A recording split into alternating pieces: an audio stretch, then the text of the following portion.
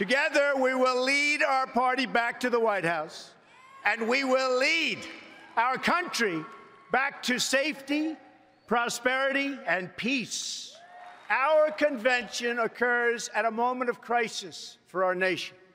The attacks on our police and the terrorism of our cities threaten our very way of life. I have a message for all of you. The crime and violence that today afflicts our nation will soon, and I mean very soon, come to an end. My plan will begin with safety at home, which means safe neighborhoods, secure borders, and protection from terrorism. There can be no prosperity without law and order. I have visited the laid off factory workers and the communities crushed by our horrible and unfair trade deals. These are the forgotten men and women of our country, and they are forgotten, but they're not going to be forgotten long. These are people who work hard but no longer have a voice. I am your voice. I have joined the political arena so that the powerful can no longer beat up on people who cannot defend themselves. Nobody knows the system better than me.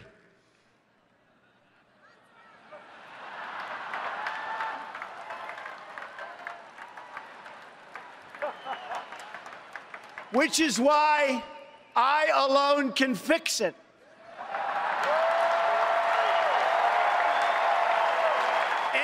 Anyone who endorses violence, hatred, or oppression is not welcome in our country and never, ever will be.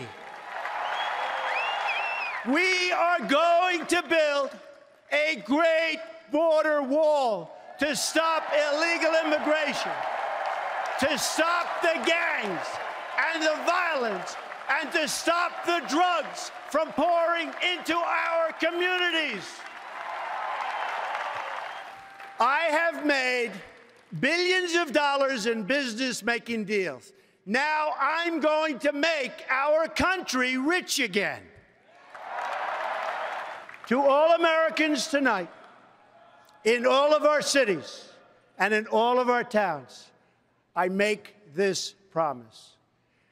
We will make America strong again.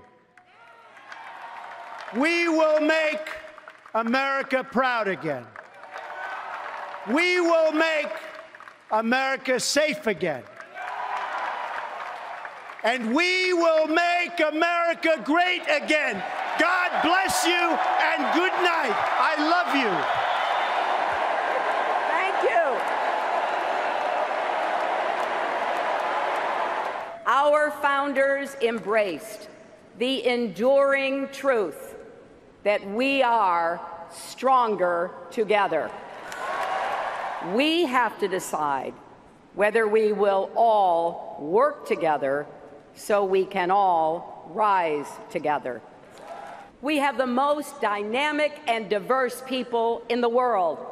We have the most tolerant and generous young people we've ever had. We have the most powerful military, the most innovative entrepreneurs, the most enduring values freedom and equality, justice and opportunity.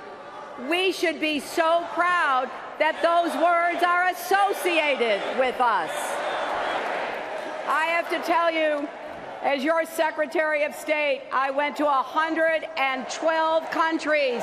When people hear those words, they hear America. America needs every one of us to lend our energy, our talents, our ambition to making our nation better and stronger. I believe that with all my heart. That's why Stronger Together is not just a lesson from our history, it's not just a slogan for our campaign. It's a guiding principle for the country we've always been and the future we're going to build. A country where the economy works for everyone, not just those at the top. I will be a president for Democrats, Republicans, independents, for the struggling, the striving, the successful, for all those who vote for me and for those who don't, for all Americans together. Tonight, we've reached a milestone in our nation's march toward a more perfect union. The first time that a major party has nominated a woman for president. Standing here as my mother's daughter and my daughter's mother, I'm so happy this day has come. I'm happy for grandmothers and little girls and everyone in between. I'm happy for boys and men because when any barrier falls in America, it clears the way for everyone. After all, when there are no ceilings, the sky's the limit. Every generation of Americans has come together to make our country freer, fairer, and stronger. None of us ever have or can do it alone. Let's be stronger together, my fellow Americans. Let's look to the future with courage and confidence. Let's build a better tomorrow for our beloved children and our beloved country.